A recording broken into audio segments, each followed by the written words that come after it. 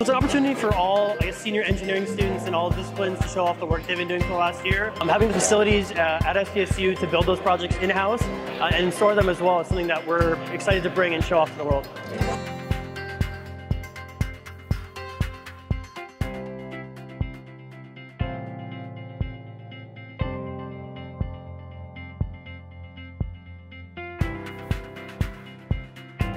All the products around me are, are amazing. I mean, it, coming in here, it's kind of like a little bit of a door to like what's possible.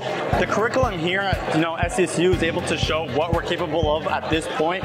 There's only so much to imagine how great it could be as we go forward.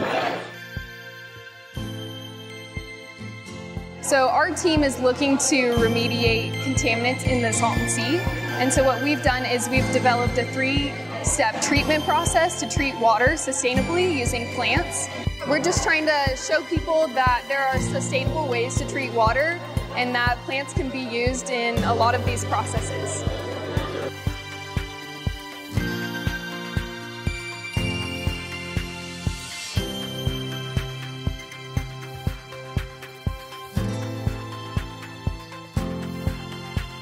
Uh, the structure at SDSU is fantastic. I like the accountability of the faculty that they hold over the students.